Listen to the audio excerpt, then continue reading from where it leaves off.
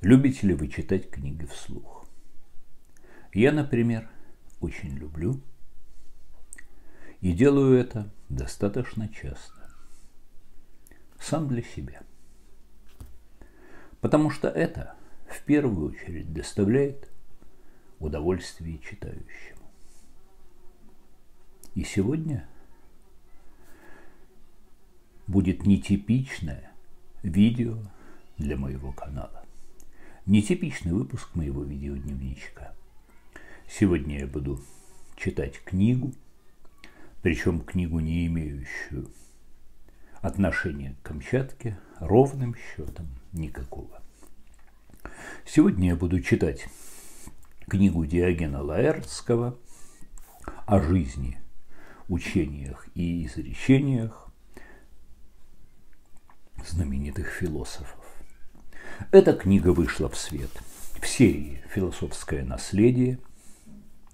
Эта серия выпускалась Институтом философии Академии наук СССР.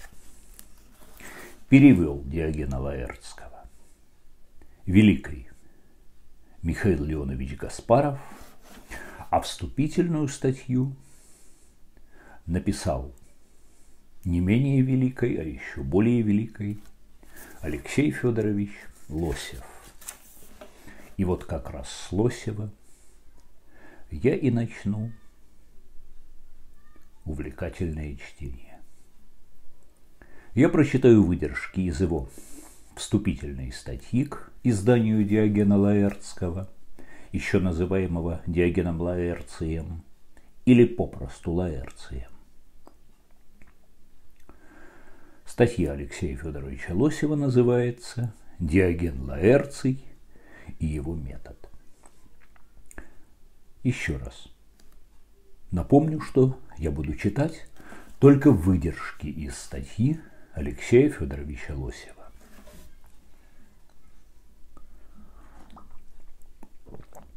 Это компот из натуральных камчатских ягод –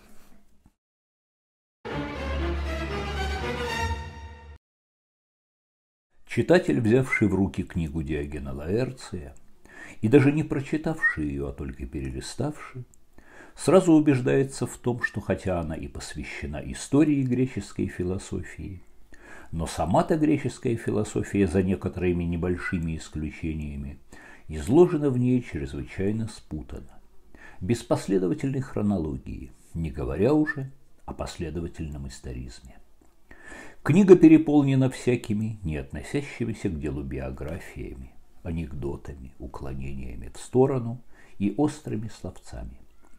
С одной стороны, читатель Диогена Лаэрция будет вполне разочарован уже по одному тому, что у него он не найдет никакого систематического изложения истории греческой философии. С другой стороны, однако, всякий читатель Диогена Лаэрция переживает настоящее удовольствие – Погрузившись благодаря этой книге в самую гущу античной жизни и надевившись разнообразным и ярким личностям, изображенным здесь, и получает несомненное удовольствие отсюда разбросанной здесь античной и аттической соли. Несмотря на полное несоответствие содержания этой книги ее теме, она является замечательным памятником античной книги вообще. После чего можно только удивляться, Насколько же новоевропейские излагатели античной философии скучны и далеки от самого духа и стиля античного мышления, несмотря на свое безусловное превосходство в методах последовательно исторического или систематически логичного изложения философии древних. Прежде всего совершенно неизвестно, пишет Алексей Федорович Лосев, что это за имя Диоген Лаэрций, где этот Диоген Лаэрций жил и писал, какова датировка его жизни и даже какое точное название принадлежит его сочинению. Насколько можно судить по Стефану Византийскому, которому принадлежит первое упоминание о Диогене Лаэрции, шестой век нашей эры. Слово Лаэрции должно указывать на какой-то город, корейской – Лаэрту, что было бы естественно, поскольку имена всех греческих деятелей обычно сопровождаются указанием на тот город, откуда они происходят. Диогена Полонийской, Демокрита Бдерской и так далее. Однако ни в каких словарях невозможно найти такого города Лаэрты, так что возникает вопрос, существовал ли такой город на самом деле.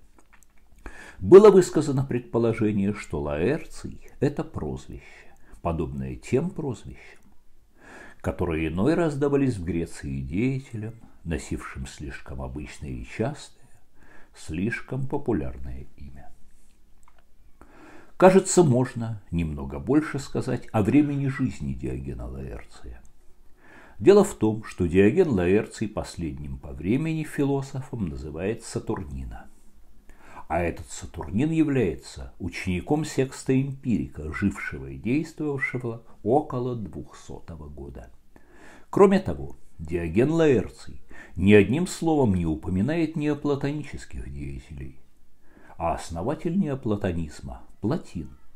Жил в годы 203-269. Следовательно, вытекает как будто бы с достаточной точностью, что Диоген Лаэрций жил и действовал в конце второго и в первое десятилетие третьего века. Тем более, что Платин, как известно, стал записывать свои лекции лишь после 250 года. Далее не существует, пишет Алексей Федорович Лосев, и точного названия книги. В парижской рукописи 1759 года это заглавие читается так. Диоген Лаэрция «Жизнеописание и мысли тех, кто прославился в философии и в кратком виде сводка воззрений каждого учения. Сапатер просто называет книгу Диогена Лаэрция жизнеописаниями философов. У Стефана Византийского также значится буквально «История философа». Каковое название Хикс понимает как философская история. У Естафия также кратко «Жизнеописание софистов», где под словом «софист» Как это и вообще часто в греческой литературе понимается просто мудрец или практический мудрец. В конце наиболее полных рукописей стоит более точно. Лаэрция Диогена сводка жизнеописаний философов и их учений в десяти книгах. Прибавим к этому также и то, что у Диогена Лаэрция был еще целый сборник эпиграмм на разных философов, о чем он сам говорит и откуда, вероятно, все многочисленные эпиграммы Диогена Лаэрция к каждому философу в ее книге, в его книге. В итоге необходимо сказать, что поскольку всякие достоверные сведения и об имени Диогена Лаэрция, и о названии его трактата отсутствуют, то мы в дальнейшем будем условно называть автора трактата просто Диогеном Лаэрцием, а его трактат и тоже условно историей философии. Хотя Диоген Лаэрций, пишет Алексей Федорович Лосев, дает множество разного рода сведений по истории греческой философии, для начала нужно просто забыть, что мы имеем здесь дело с трактатом по греческой философии. В этом трактате можно прочитать все, что угодно о греках, в том числе, конечно, и о греческих мыслителях, о целых эпохах культурного развития, о поэзии многих греческих авторов и вообще о природе и жизни в Древней Греции. Очень часто Диогена Лаэрция интересует не данный мыслитель как таковой, но его биография. Да и биографии эти часто полны курьезов, необычных стечений обстоятельств, полны разного рода анекдотов, остроумных изречений и не относящихся делу случайных происшествий. Особенный интерес вызывают у Диогена Лаэрция пикантные подробности из жизни людей, часто доходящие до полного неприличия. О Сократе, например, приводятся не только сведения о том, что у него была жена, но и сведения о том, что у Сократа было две жены одновременно. Основное место в сочинении Диогена Лаэрция занимают анекдоты. Все его рассказы о философах и мыслителях буквально полны разнообразных анекдотов. Многих мыслителей он излагает только в виде какого-нибудь одного тезиса, без всякого развития и без всяких доказательств этого последнего. А иной раз и просто упоминается какое-то имя и больше ничего. Так что остается неизвестным, каково же отношение данного человека к философии. Но повторяем, не нужно слишком свысока относиться к Диогену Лаэрцию за его свободное обращение с фактами, приводимыми без всякой их истории и систематизации. Наоборот, это-то и делает трактат Диогена Лаэрция замечательно интересной античной книгой, которая никогда не теряла и еще и теперь не теряет своего интереса, несмотря на весь содержащийся в ней историко-философский сумбур.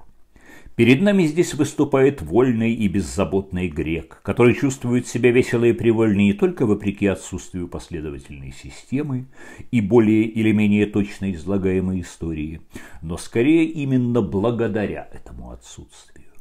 Причем не нужно думать, что перед нами здесь какой-то дилетант или невежда.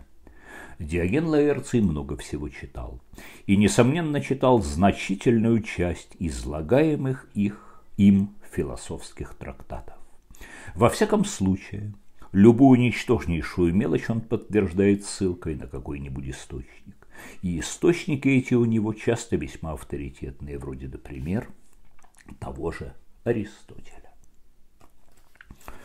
Беря в руки трактат Диогена Лаэрция, Удивляясь его наивности и хаотичности, мы не только доставляем себе удовольствие от этого веселого барахтанья Диогена в сотнях и тысячах непроверенных малодостоверных фактов. Мы погружаемся еще и в эти веселые просторы античной историографии и начинаем понимать, до какой степени античный грек мог чувствовать себя беззаботно в такой серьезной области, как история его же собственной то есть древнегреческой философии. Наконец, дело здесь не просто в литературном удовольствии, которое получает современный читатель от этого трактата, пришедшего к нам из давно погибшей цивилизации, а также из довольно чужой для нас культурной атмосферы.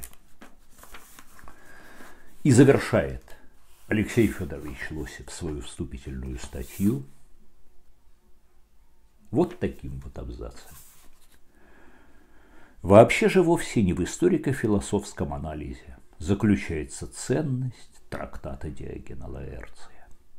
Его трактат – это любопытнейшая и интереснейшая античная смесь всего важного и неважного, первостепенного и второстепенного, всего серьезного и забавного. Во всяком случае, современный читатель Диогена Лаэрция после прочтения его трактата – несомненно окунется в безбрежное море античной мысли и некоторое время подышит воздухом подлинной античной цивилизации. А требовать чего-то большего, даже от самого серьезного античного трактата, было бы и антинаучно, и антиисторично. Ну а теперь, а теперь мы приступим непосредственно к чтению Диогена Лаэрция.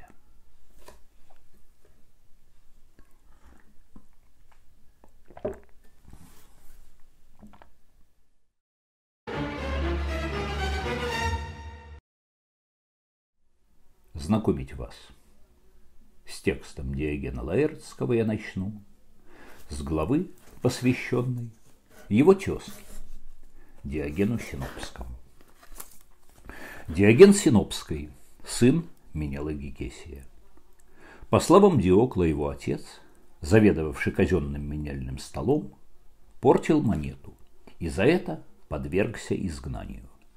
А Евбулит в книге о Диогене говорит, что и сам Диоген занимался этим, и потом скитался вместе с отцом.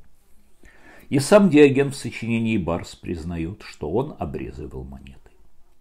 Некоторые рассказывают, что его склонили на это работники, когда он был назначен заведовать чеканкой, и что он, отправившись в Дельфы или в Делийский храм на родине Аполлона, спросил, сделать ли ему то, что ему предлагают. Оракул посоветовал ему сделать переоценку ценностей. А он не понял истинного смысла, стал подделывать монету, был уличен и, по мнению одних, приговорен к изгнанию, по мнению других, бежал сам в страхе перед наказанием. Некоторые сообщают, что он получал деньги от отца и портил их, и что отец его умер в тюрьме – А сам он бежал, явился в Дельфы и спросил Оракула не о том, заниматься ли ему порчей монеты, а о том, что ему сделать, чтобы прославиться. Тут-то он и получил ответ, о котором было сказано. Придя в Афины, он примкнул к антисфену. Тот по своему обыкновению никого не принимать, прогнал было его, но Диоген упорством добился своего. Однажды, когда тот замахнулся на него палкой, Диоген, подставив голову, сказал «Бей!» но ты не найдешь такой крепкой палки, чтобы прогнать меня, пока ты что-нибудь не скажешь. С этих пор он стал учеником антисфена и, будучи изгнанником, повел самую простую жизнь.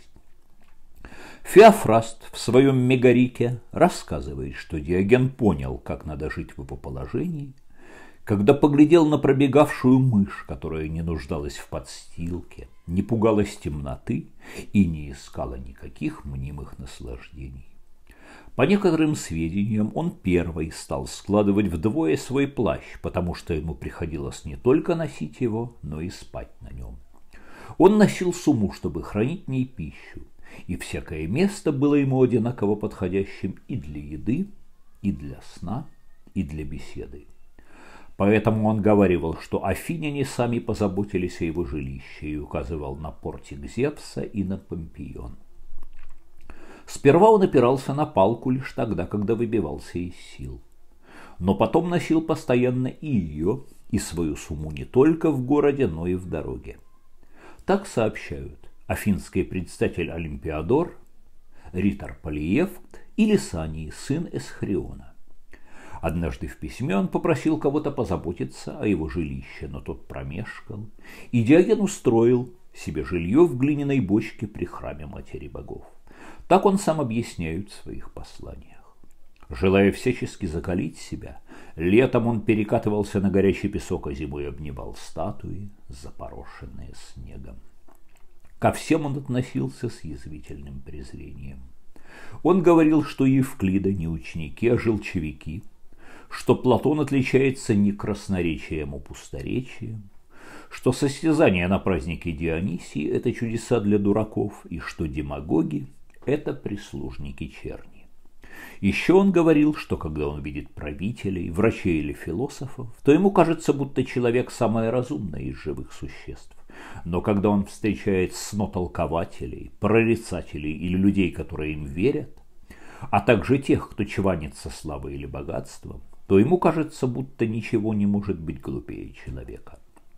Он постоянно говорил, для того, чтобы жить как следует, надо иметь или разум, или петлю. Однажды, заметив, что Платон на роскошном перу ест оливки, он спросил, как же так, мудрец? Ради таких вот перов ты ездил в Сицилию, а тут не берешь даже того, что стоит перед тобою. «Клянусь богами, Диоген», — ответил тот, — «я и в Сицилии все больше ел оливки и прочую подобную снедь. А Диоген, зачем же тебе понадобилось ехать в Сиракузы? Или в Аттике тогда был не урожай на оливки?» Впрочем, Фаворин в разнообразном повествовании приписывает эти слова Аристипу. В другой раз он повстречал Платона, когда ел сушеные фиги, и сказал ему «Прими и ты участие». Тот взял и съел. А Диоген – я сказал, прими участие, но не говорил поешь. Однажды, когда, Платон позвал к себе своих друзей, приехавших от Дионисия, Диоген стал топтать его ковер со словами «попираю Платонову суетность». На что Платон заметил, «Какую же ты обнаруживаешь спесь, Диоген, притворяясь таким смиренным?» Другие передают, будто Диоген сказал «попираю Платонову спесь», а Платон ответил «попираешь собственной спесью, Диоген». Именно за это Платон и обозвал его собакой, как пишет Сатион в четвертой книге. Диогену случалось просить у него то вина, то сушеных фиг. Однажды Платон послал ему целый бочонок, а он на это, когда тебя спрашивают, сколько будет два и два, разве ты отвечаешь двадцать? Эдак ты, и даешь не то, о чем просят, и отвечаешь не о том, о чем спрашивают. Так он посмеялся над многоречивостью Платона. На вопрос, где он видел в Греции хороших людей, Диоген ответил, хороших людей нигде, хороших детей в Лакедемоне. Однажды он рассуждал о важных предметах, но никто его не слушал. Тогда он принялся верещать по птичьему. Собрались люди, он пристыдил их за то, что ради пустякова не сбегаются, а ради важных вещей не пошевелятся. Он говорил, что люди соревнуются, кто кого столкнет пинком в канаву, но никто не соревнуется в искусстве быть прекрасным и добрым. Он удивлялся, что грамматики изучают бедствия Одиссея и не ведают своих собственных. Музыканты ладят струны на лире и не могут сладить собственным нравом. Математики следят за солнцем и луной, они видят того, что у них под ногами. Риторы учат правильно говорить и не учат правильно поступать. Наконец, скряги ругают деньги, а сами любят их больше всего. Он осуждал тех, кто восхваляет честных бессребренников, а сам втихомолку завидует богачам. Его сердило, что люди при жертвоприношении молят богов о здоровье, а на перу после жертвоприношения объедаются во вред здоровью. Он удивлялся, что рабы, видя обжорство хозяев, не растаскивают их еду. Он хвалил тех, кто хотел жениться и не женился, кто хотел путешествовать и не поехал, кто собирался заняться политикой и не сделал этого, кто брался за воспитание детей и отказывался от этого, кто готовился жить при дворе и не решался. Он говорил, что, протягивая руку друзьям, не надо сжимать пальцы в кулак.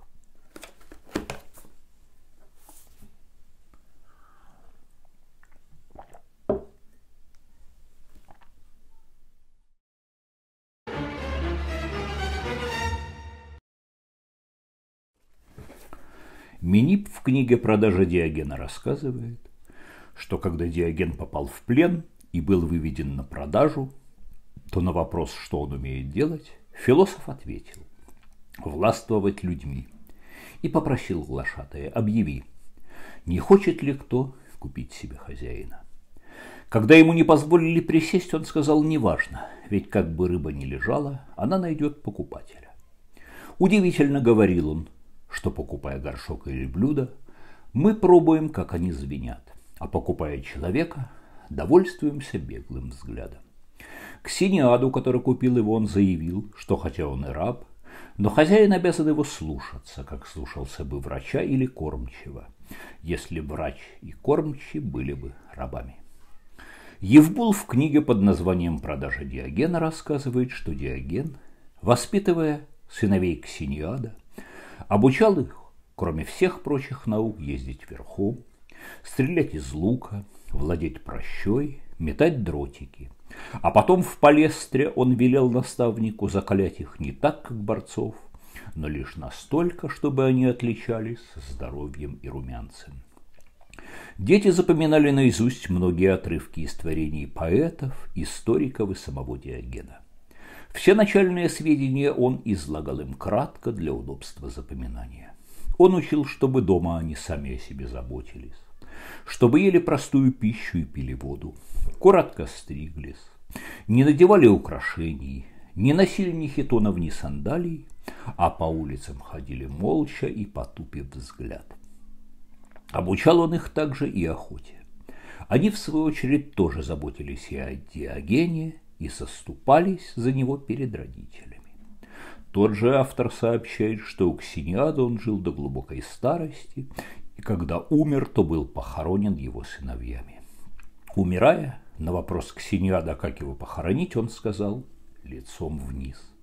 «Почему?» – спросил тот. «Потому что скоро нижнее станет верхним», – ответил Диоген. Так он сказал, потому что Македония уже набирала силы и из слабой становилась мощной. Когда кто-то привел в его роскошное жилище и не позволил плевать, он, откашлившись, сплюнул в лицо спутнику, заявив, что не нашел места хуже. Впрочем, другие приписывают это Аристипу. Однажды он закричал «Эй, люди!», но когда сбежался народ, напустился на него с палкой, приговаривая «Я звал людей, а не мерзавцев». Так пишет Гекатон в первой книге изречений. Говорят, что даже Александр сказал, если бы я не был Александром, я хотел бы быть Диогеном. С ума сшедшими называл он неумалишенных, а тех, кто не ходит с умой. Метрокл в изречениях рассказывает, что однажды он явился к юношам на пир полуобритым, и его поколотили. Тогда он написал имена колотивших на доске и ходил с этой доскою на показ, пока не отплатил им, выставивший их так на позор и поношение. Он говорил, что для людей с добрым именем он пес, но никто из этих людей почему-то не решается выйти с ним на охоту. Человеку, сказавшему, на пифийских играх я победил многих мужей, он ответил нет, многих рабов, а мужей побеждать – это мое дело. Тем, кто говорил ему «ты стар, отдохни от трудов», он отвечал «как? Если бы я бежал дальним бегом и уже приближался к цели, разве не следовало бы мне скорее напрячь все силы вместо того, чтобы уйти отдыхать?» Когда его позвали на пир, он отказался, заявив, что недавно он пошел на пир, но не видел за это никакой благодарности. Босыми ногами он ходил по снегу, о других его поступках такого рода уже говорилось. Он пытался есть сырое мясо, но не мог его переварить. Однажды он застал оратора Демосфена в харчевне за завтраком. При виде его Демосфен перешел во внутреннюю комнату. «От этого ты тем более находишься в харчевне», — сказал Диоген. Когда приезжие хотели посмотреть на Демосфена, он указывал на него средним пальцем со словами «Вот вам правитель афинского народа». Желая наказать человека, который, уронив хлеб, постеснялся его поднять, он привязал ему горшок на шею и поволок через керамик. Вот говорил, что берет пример с учителей пения, которые нарочно поют тоном выше, чтобы ученики поняли, в каком тоне нужно петь им самим. Большинство людей, говорил он, отстоит от сумасшествия на один только палец. Если человек будет вытягивать средний палец, его сочтут сумасшедшим, а если указательный, то не сочтут. Драгоценные вещи, по его словам, ничего не стоят и наоборот. Например, за статую платят по три тысячи, а за меру ячменя – два медных обола. К Синиаду, когда тот его купил, Диоген сказал, «Смотри, делай теперь то, что я прикажу». А когда тот воскликнул вспять, потекли источники рек, сказал, «Если бы ты был болен и купил себе врача, ты ведь слушался бы его, а не говорил бы, что вспять потекли источники рек». Кто-то хотел заниматься у него философией. Диоген дал ему рыбу и велел в таком виде ходить за ним, но тот застыдился, бросил рыбу и ушел. Спустя некоторое время Диоген вновь повстречал его и со смехом сказал «Нашу с тобою дружбу разрушила рыба». Впрочем, у Диокла это записано так. Кто-то попросил «Научи меня разуму, Диоген». Философ, отведя его в сторону, дал ему сыр ценою в полобола и велел носить при себе. Тот отказался, и Диоген сказал «Нашу с тобою дружбу разрушил сырок ценою в пол обола». Увидев однажды, как мальчик пил воду из горсти, он выбросил из сумы свою чашку, промолвил. Мальчик превзошел меня простотой жизни.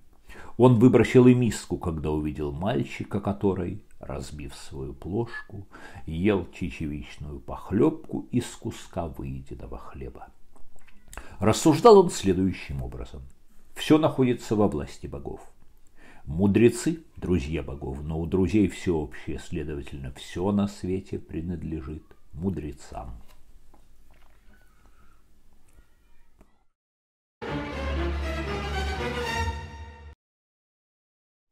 Увидев однажды женщину, непристойным образом распростершуюся перед статуями богов, и желая избавить ее от суеверия, он, по словам Заила из Перги, подошел и сказал, а ты не боишься, женщина, что, может быть, Бог находится позади тебя, ибо все полно его присутствием, и ты ведешь себя непристойно по отношению к нему.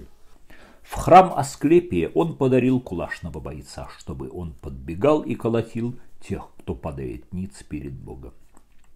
Он часто говорил, что над ним исполнились трагические проклятия, ибо он никто иной, как лишенный крова, города, отчизны, живущий со дня на день нищий странник. Говорил он также, что судьбе он противопоставляет мужество, закону природу, страстям разум. Когда он грелся на солнце в Крании, Александр, остановившись над сказал, «Прости у меня, чего хочешь». Диоген отвечал, не заслоняй мне солнце. Когда кто-то читал длинное сочинение и уже показалось неисписанное место в конце свитка, Диоген воскликнул «Мужайтесь, други, виден берег». Софисту, который силлогизмом доказал ему, что он имеет рога, он ответил, пощупав свой лоб, «А я таки их не нахожу». Таким же образом, когда кто-то утверждал, что движения не существует, он встал и начал ходить. Рассуждавшего о небесных явлениях, он спросил, давно ли ты спустился с неба.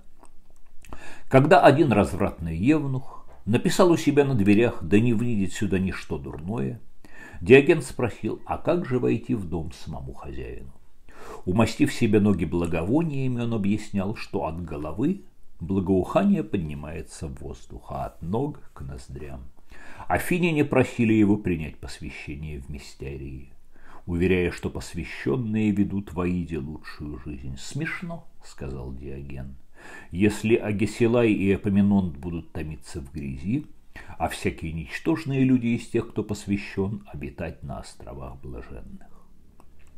Заметив мышей, подбиравшихся к его еде, он воскликнул «Смотрите!» и при Диогене кормятся на хлебнике. Платону, обозвавшему его собакой, он ответил «И верно, ведь я прибежал обратно к тем, кто меня продал». Выходя из бани на вопрос, много ли людей моется, он ответил «Мало» а на вопрос, полна ли баня народу, полна. Когда Платон дал определение, имевшее большой успех, человек есть животное о двух ногах, лишенное перьев, Диоген ощипал петуха и принес к нему в школу, объявив «Вот платоновский человек». И после этого к определению было добавлено «и с широкими ногтями». Человеку, спросившему, в какое время следует завтракать, он ответил «Если ты богат, то когда захочешь, если беден, то когда можешь. Видя, что в мегарах овцы ходят в кожаных попонах, а дети бегают голыми, он сказал, «Лучше будь у мегарца бараном, чем сыном». Когда кто-то задел его бревном, а потом крикнул «Берегись!», он спросил, «Ты хочешь меня еще раз ударить?» Он говорил, что демагоги – это прислужники толпы, а венки – прыщи славы. Среди бела дня он бродил с фонарем в руках, объясняя «ищу человека». Однажды он голой стоял под дождем, и окружающие жалели его. Случившийся при этом Платон сказал им, если хотите пожалеть его, отойдите в сторону, имея в виду его тщеславие. Когда кто-то стукнул его кулаком, он воскликнул «Геракл! Как это я не подумал, что нельзя ходить по улице без шлема!» Но когда Мидий ударил его кулаком и сказал «вот тебе три тысячи на стол», он на следующий день надел ремни для кулашного боя и отколотил Мидия, приговаривая «а вот тебе три тысячи на стол». Торговец с надобьями Лисии спросил его, верит ли он в богов. «Как же не верить?» — сказал Диоген, «когда тебя иначе назвать не могу, как богом обиженным». Впрочем, некоторые приписывают это Феодору. Видя, как кто-то совершал обряд очищения, он сказал несчастный, ты не понимаешь, что очищение также не исправляет жизненные грехи, как и грамматические ошибки. Он порицал людей за их молитвы, утверждая, что они молят не об истинном благе, а о том, что им кажется благом. Тем, кто боялся недобрых снов, он говорил, что они не заботятся о том, что делают днем, а беспокоятся о том, что приходит им в голову ночью. Когда на Олимпийских играх глашатай возвестил Диаксип победил всех мужей, Диоген сказал, он побеждает рабов, а мужей побеждаю я. Однако афиняне его любили. Так, например, когда мальчишка разбил его бочку, они его высекли, а Диогену дали новую бочку. Стоит Дионисий говорит, что при Херонее Диоген попал в плен, был приведен к Филиппу и на вопрос, чем он занимается, ответил «Слежу за твоей ненасытностью». Изумленный таким ответом царь отпустил его. Александр однажды прислал в Афины к Антипатру письмо с человеком по имени Афлий Жалкой. Диоген сказал «Шел жалкой с жалким к жалкому от жалкого».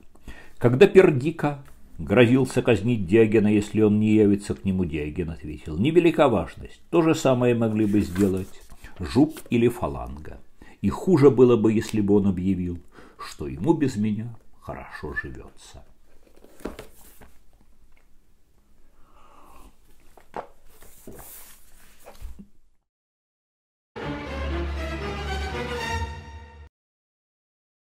Часто он объявлял во всеуслышание, что боги даровали людям легкую жизнь, а те омрачили ее, выдумывая медовые сласти, благовония и тому подобное. По той же причине он сказал человеку, которого обувал его раб, «Ты был бы счастлив вполне, если бы он заодно и нос тебе утирал. Отруби же себе руки, тогда так оно и будет». Однажды, увидев, как храмоохранители вели в тюрьму человека, укравшего из храмовой казны какую-то чашу, он сказал, вон большие воры ведут мелкого. Увидев, как мальчик швыряет камешки в крест, он сказал, славно ты попадаешь в свою цель. Мальчишкам, обступившим его и кричавшим «Берегись! Он кусается!» Диоген сказал «Не трусьте, ребята! Такой белой свеклы ни одна собака в рот не возьмет». Человеку, который хвалился львиной шкурой, он сказал «Перестань позорить облачение доблести». Если кто-то, завидуя Калисфену, рассказывал, какую роскошную жизнь делит он с Александром, Диоген заметил, вот уж несчастлив тот, кто и завтракает, и обедает, когда это удобно Александру. Когда это угодно Александру. Нуждаясь в деньгах, он просил друзей не дать ему деньги, а отдать его деньги. Рукоблудствуя на глазах у всех, он приговаривал. Вот кабы и голод можно было унять, потирая живот. Увидев мальчика, который шел на пир к сатрапам, он оттащил его в сторону и отдал домашним под надзор. А когда мальчик в пышном наряде обратился к нему с вопросом, он сказал, что не ответит, пока тот не скинет наряд и не покажет, мужчина он или женщина. Мальчику, забавлявшемуся в бане игрой в кота, он сказал, чем лучше играешь, тем хуже тебе. На одном обеде застольники швырнули ему кости, как псу. Он отошел и помочился над ним, на них, как пес. Ораторов и вообще всякого, кто хотел прославиться красноречием, он называл трижды человеком, то есть трижды несчастным. Невежественного богача он называл златорунным бараном. Увидим дом, увидев дом одного распутника с надписью «Продается», он сказал, «Я так и знал, что после стольких попоек ему нетрудно изрыгнуть своего владельца».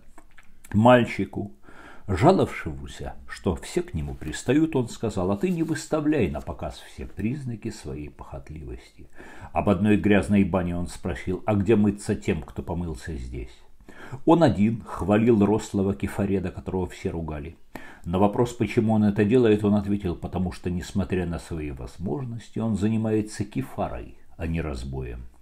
Кефареда, от которого постоянно убегали слушатели, он приветствовал. Здорово, петух. Почему петух? Потому что ты всех поднимаешь на ноги. Один юноша разглагольствовал перед народом. Диоген набил себе пазуху волчьими бобами, сел напротив него и стал их пожирать. Когда все обратили взгляды на него, он сказал удивительно, как это вы все забыли о мальчишке и смотрите на меня. Один человек, известный крайним суеверием, сказал ему, вот я разобью тебе голову с одного удара. А вот я чихну налево, и ты у меня задрожишь, возразил Диоген. Гигесий просил почитать что-нибудь в сочинении. «Дурак ты, Гегесий», — сказал Диоген. Нарисованным фигом ты предпочитаешь настоящее, а живого урока не замечаешь и требуешь писанных правил. Кто-то корил Диогена за его изгнание. «Несчастный», — ответил он, — «ведь благодаря изгнанию я стал философом». Кто-то напомнил, жители Синопа осудили тебя скитаться. «А я их оставаться дома», — ответил Диоген. Увидев, как один олимпийский победитель пасовец, он сказал, «Быстро же ты, милейший, променял ристалище на пастбище». На вопрос, почему атлеты такие тупицы, он ответил, «Потому что мясо в них свиное и бычье». Он просил подаяния у статуи. На вопрос, зачем он это делает, он сказал, чтобы приучить себя к отказам.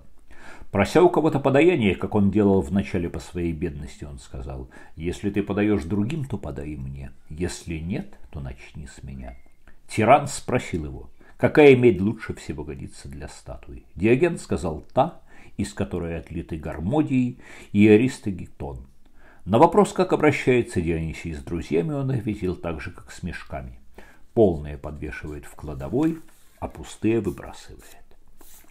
Один новобрачный написал на своем доме. Зевесов сын, Геракл победоносный здесь обитает, да не внидет зло. Диоген переписал «Сперва война, потом союз». Алчность он называл матерью всех бед. Увидев мота, который ел в харчевне оливки, он сказал, если бы так завтракал ты, не пришлось бы тебе так обедать. Добродетельных людей он называл подобиями богов. Любовь – делом бездельников. На вопрос, что есть в жизни горестого, он ответил «старость в нищете».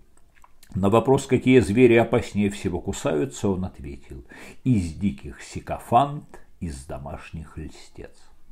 Увидев двух скверно нарисованных кентавров, он спросил, какая лошадь поплоше. Вкрадчивую речь он называл медовую давкой. Желудок – харибдой жизни. Услышав, что флейтист Дидим двужильный, попался с чужой женой, он сказал, его следовало бы повесить за его имя. На вопрос, почему у золота такой нездоровый цвет, он сказал, потому что на него делается столько покушений. Увидев женщину в носилках, он сказал, не по зверю клетка. Увидев беглого раба, который сидел над колодцем, он сказал, не провалиться бы твоему побегу. Заметив мальчишку, ворующего одежды в бане, он спросил, что ты хочешь делать с этим добром, мыться или смываться? Увидев женщин, удавившихся на оливковом дереве, он воскликнул, «О, если бы все деревья приносили такие плоды!» Увидев вора, крадущего платье, он спросил, «Грабить ли хочешь ты мертвых, лежащих на битвенном поле?» На вопрос, есть ли у него раб или рабыня, он ответил «нет». «Кто же тебя похоронит, если ты умрешь?» – спросил собеседник. «Тот, кому понадобится мое жилище». Увидев хорошенького мальчика, беззащитно раскинувшегося, он толкнул его и сказал «проснись, пику тебе берегися», вонзят лежащему сзади. Оперующему Моту сказал «скоро конец тебе, сын мой, судя по тому, что вкушаешь». Когда Платон рассуждал об идеях и изобретал названия для стольности и чашности, Диоген сказал – а я вот, Платон, стол и чашу вижу, а стольности и чашности не вижу. А тот и понятно. Чтобы видеть стол и чашу, у тебя есть глаза, а чтобы видеть стольность и чашность, у тебя нет разума. И на вопрос, что, по-твоему, представляет собой Диоген, Платон ответил, это безумствующий Сократ. На вопрос, в каком возрасте следует жениться, Диоген ответил, молодым еще рано, старым уже поздно. На вопрос, по какому месту лучше получать удары, он ответил по шлему.